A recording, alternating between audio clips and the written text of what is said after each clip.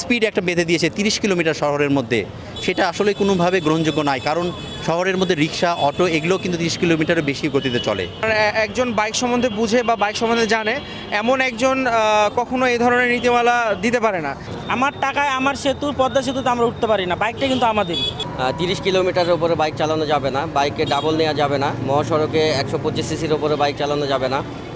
ঈদের আগে দশ দিন ঈদের পরে দশ দিন বাইক চালানো যাবে না মহাসড়কে। এই ধরনের যে ফালতু নীতিমালাগুলো নিয়ে আসা হয়েছে খসড়া হিসেবে আমরা তার প্রতিবাদ জানাচ্ছি। আমাদের বাইকার বিরুদ্ধে যে নীতিমালাগুলো দেওয়া হয়েছে এগুলো আসলে আমাদের বাইকারদের বা বাংলাদেশের বিভিন্ন নাগরিকের স্বাধীন দেশের স্বাধীন নাগরিকের স্বাধীনতা ক্ষুণ্ণ করা হচ্ছে। ভিত্তিহীন সকল নীতিমালা প্রত্যাহার ও বাইকারদের অধিকার আদায়ের দাবিতে রাজশাহীতে মানববন্ধন হয়েছে।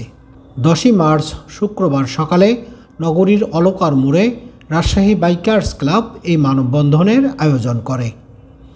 রাজশাহী ও রাজশাহীর পার্শ্ববর্তী জেলার বিভিন্ন বাইকার সংগঠনের শতাধিক সদস্য মানববন্ধন কর্মসূচিতে অংশ নেন।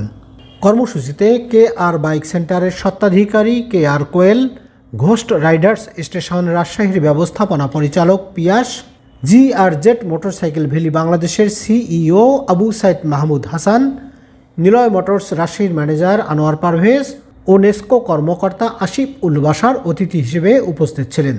রাজশাহী বাইকার্স ক্লাবের সভাপতি মোহাম্মদ আব্দুল আওয়ালের সভাপতিত্বে মানববন্ধনে বক্তারা বলেন, সরকার যে নীতিমালা প্রণয়ন করতে যাচ্ছে, সেটার জন্য বাইকারদের কোনো মতামত নেওয়া হয়নি।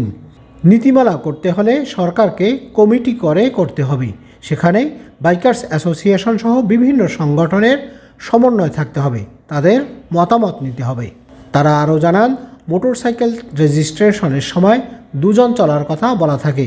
কিন্তু মহাসড়কে মাত্র একজন মোটরসাইকেলে উঠতে পারবে এটা কোনো যৌক্তিক নীতিমালা হতে পারে না। অনতি বিলম্বে এ আইন প্রত্যাহার করতে হবে। কর্মসূচি থেকে বাইকার বিরোধী সকল অযৌক্তিক খসড়া নীতিমালা প্রত্যাহার এবং পদ্মা সেতু ও কর্ণফুলী টানেল বাইক চলাচলের জন্য উন্মুক্ত করার দাবি জানানো হয়। আদেশকৃত বা প্রস্তাবকৃত যে বাইকের উপরে যে নতুন নীতিমালা তারা প্রস্তাব করেছে, তার তীব্র নিন্দা জানিয়ে আমরা আজ এই মানববন্ধনের অংশগ্রহণ করেছি। গোটা রাজশাহী বিভাগ থেকে, বিভিন্ন জেলা থেকে প্রত্যেক বাইকাররা অংশগ্রহণ করছে। কারণ আমরা যে নীতিমালা তাদের আছে তা সুরক্ষার জন্য যেগুলো নীতিমালা তারা করেছে, সেগুলো সব মেনটেন মানে আমরা মেনেই তারা বাইক চলাচ্ছে। তারপরেও আমরা প্রতিনিয়ত যে স্পিড একটা বেঁধে দিয়েছে তিরিশ কিলোমিটার শহরের মধ্যে। সেটা আসলে কোনোভাবে গ্রহণযোগ্য নয়, কারণ শহরের মধ্যে রিক্সা, অটো এগুলো কিন্তু তিরিশ কিলোমিটারের বেশি গতিতে চলে। আর একটা যেটা বড় বিষয় সেটা হচ্ছে যে, মহাসড়কে ডবল দ্বিতীয় বিলিয়ন নিয়ে চলা যাবে না। আমাদের ট্যাক্স টোকেনে লেখা থেকে আসন সংখ্যা দুই।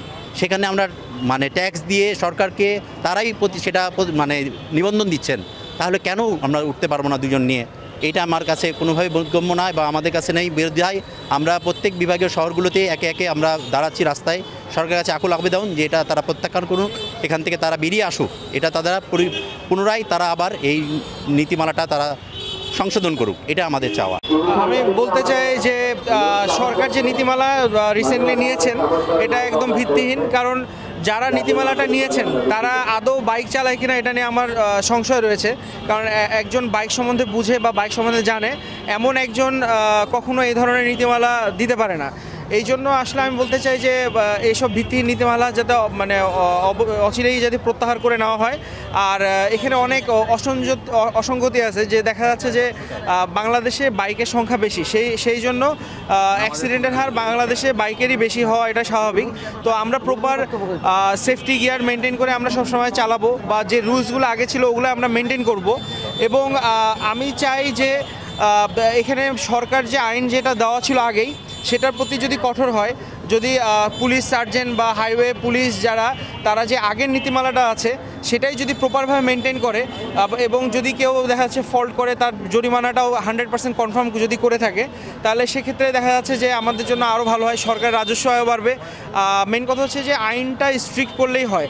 আমার মনে হয় যে নতুন একটা কমিটি দেওয়া উচিত, যে কমিটিতে বাইক অ্যাসোসিয়েশনে সবাই থাকবে, এবং যাদের বাইকের সম্বন্ধে প্রপার সেন্স আছে প্রপার গাইডেন্স আছে তারাই এই সবাই বসে একটা নতুন নীতিমালা ক্রিয়েট করতে পারে।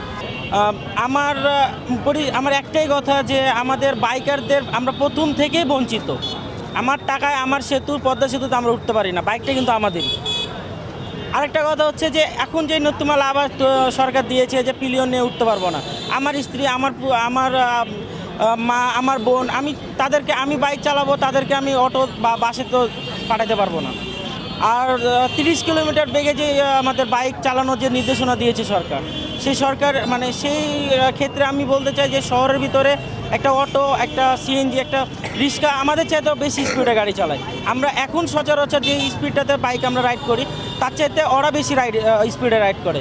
সো সরকার আমাদের নীতিমালা দিক, কিন্তু একটু ভাব, একটু ভেবে চিন্তে যদি নীতিমালাগুলো দেয়, বাইকারদের হেল্প হবে, কারণ বাইকের উপরে নির্ভর করে অনেকের জীবন নির্ভর করে। কারণ হচ্ছে যে আমাদের প্রতিনিয়ত আমরা যা রাইড করার জন্য হোক, আবার বাসার কাজের জন্য হোক অফিস কাজের জন্য হোক, আমরা বাইক ইউজ করি। আমি রাজশাহী বাইকার্স ক্লাব আরবিসির সভাপতি আব্দুল আওয়াল। আমাদের আজকের এই মানববন্ধন যে উদ্দেশ্যে, সেটা হচ্ছে যে খসড়া একটি ভিত্তিহীন নীতিমালা যেটা সামনে আনা হয়েছে। তিরিশ কিলোমিটারের উপরে বাইক চালানো যাবে না বাইকে ডাবল নেওয়া যাবে না, মহাসড়কে একশো পঁচিশ সিসির উপরে বাইক চালানো যাবে না।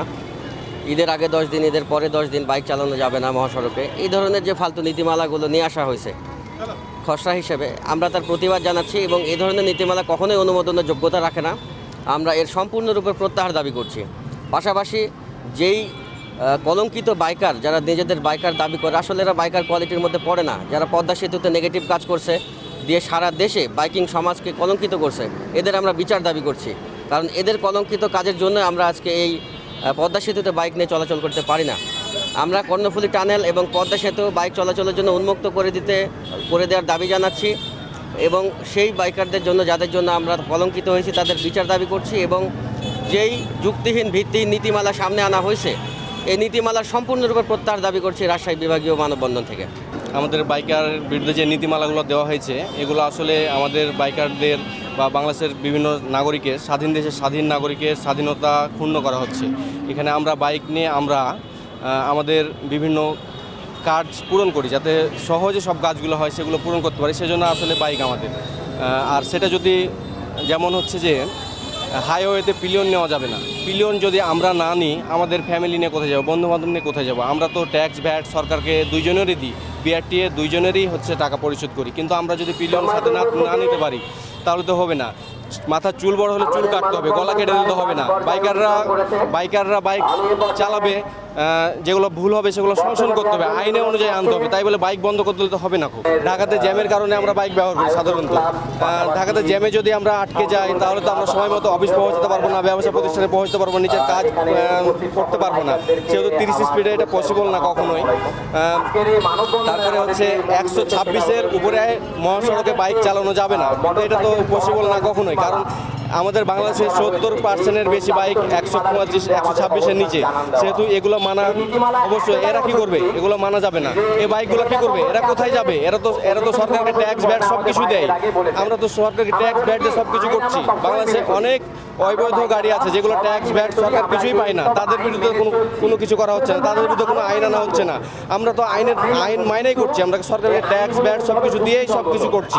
তাহলে আমরা কেন হাইওয়েতে চলতে পারব না? একশো ছাব্বিশের নিচে বাইক নিয়ে।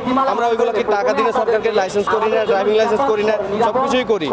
আর নিরাপদ আমরা নিজের, আমাদের জীবনের মূল্য আমাদের চাইতে অন্য কারও বেশি না। আমাদের জীবন মূল্য, জীবনের মূল্য আমাদেরই বেশি। সেহেতু আমাদের চাইতে গুরুত্ব বেশি কেউ দিবে না। আমরা আমরা নিজের যথেষ্ট সেফটি নিয়ে বাইক রাইড করি। আমাদের বাসের চাইতে, একটা বাসের চাইতে আমাদের বাইকে আমাদের নিরাপত্তা বেশি।